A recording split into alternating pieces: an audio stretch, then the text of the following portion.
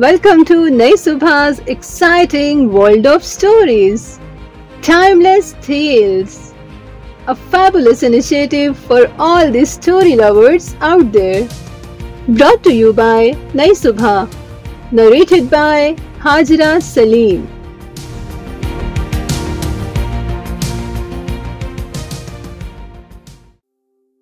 लड़कियाँ क्रिकेट नहीं खेलती। ये बात तो मैंने कभी सोची ही नहीं थी। ये बात भी ठीक थी कि मैंने पिछले दो सालों में किसी लड़की को खेलते हुए भी तो नहीं देखा था। उस दिन तो मैं सर से कुछ नहीं कह पाई और दिल मारकर बास्केटबॉल खेलने चली गई।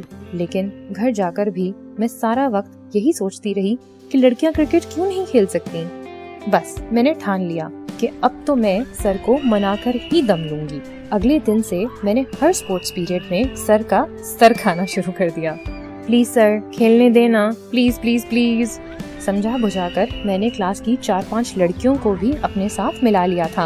आखिरकार एक दिन सर ने हार मान ली और कहा अच्छा बाबा अच्छा चलो जाओ, तुम लोग भी बैट बॉल ले लो, लेकिन पहले लड़के खेलेंगे।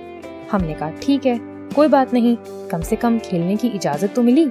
उसके बाद मैंने हर स्पोर्ट्स पीरियड में क्रिकेट क्रिकेट और सिर्फ़ क्रिकेट खेला। अब तक मेरे सर पर सिर्फ़ क्रिकेट खेलने का नहीं, देखने का भी फितूर सवार हो गया था।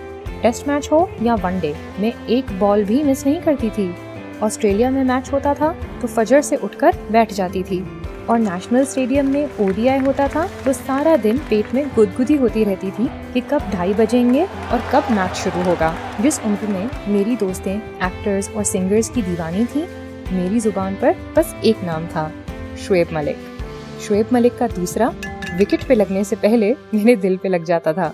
क्रिकेट देख देख कर मैं सीख भी गई थी, जैसे ऑफ़ स्पिन के लिए बॉल की सीम को पहली और दूसरी उंगली के बीच में पकड़ना लेग स्पिन के लिए चारों उंगलियों का इस्तेमाल करना स्पिनर के लिए फ़ील्ड सेटिंग करनी हो तो थोड़ा डीप जाना long off long on deep square leg और क्लासिक स्वीपर कवर यानी मेरे पास ठीक ठाक नॉलेज थी और अच्छा खासा खेल भी लेती थी।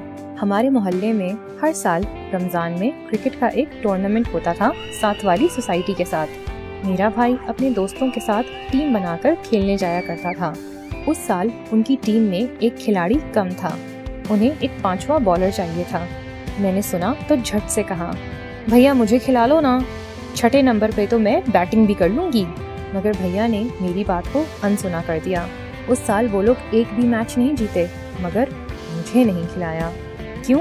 क्योंकि लड़कियाँ क्रिकेट नहीं खेलती। स्कूल से लेकर कॉलेज तक मैंने ये झूठ इतनी बार इतने लोगों से सुन लिया था कि अब मैं इसे सच मानने लगी थी।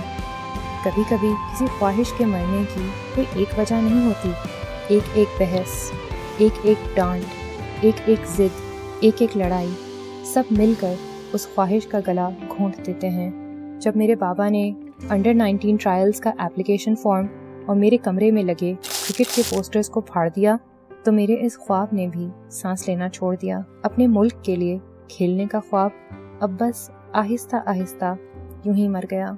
क्योंकि आसपास कोई नहीं था उसे सींचने के लिए। और यूँ यूनिवर्सिटी शुरू होने से पहले मैंने बेमतलब लड़ना और क्रिकेट खेलना दोनों छोड़ दिया। कहानी ने आगे क्या मोड़ लिया, ये जानने के लिए इंतज़ार कीजिए अगले हिस्से का।